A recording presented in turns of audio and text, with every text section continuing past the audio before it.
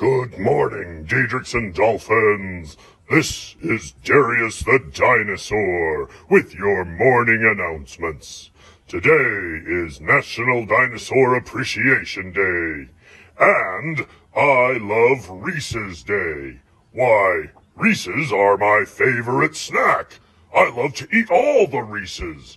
The Witherspoon kind, Reese Mistler, Reese Wilkerson, Reese Erlich. Um, excuse me, Mr. Scary Dinosaur, but I think I Love Reese's Day is about the chocolate and peanut butter candy, not people named Reese.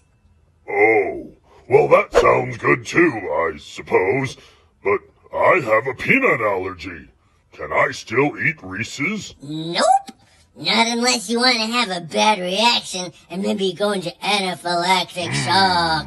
What about Maisie's? Do Maisie's contain peanuts? Um, yes! Yes, they do! Um, in fact, just this morning, I ate a whole bag of peanuts off the kitchen counter when nobody was looking, so I am totally full of peanuts.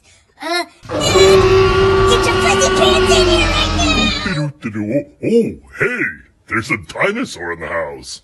Get rid of him! Okay, fine. Thanks, Ned. I was getting a little concerned. Well, sometimes you just need a brave Arctic wolf to take care of scary things for you. Um, you're not. Oh, never mind. Thanks for getting rid of him. Now, how about some jokes? Okay. Did you hear about the actress eating a steak the other day? What's her name? Reese. Reese. Witherspoon? No, it was with a fork. oh. Oh, what happens when you drop a Reese's peanut butter cup off a tall I building? don't know. It becomes Reese's Pieces. Ned, when was the last time you ate a peanut butter cup? Hmm, I can't remember, but I'm pretty sure it was recent. Bam, bum. Back, Back to, to the, the Dietrichson crew. crew.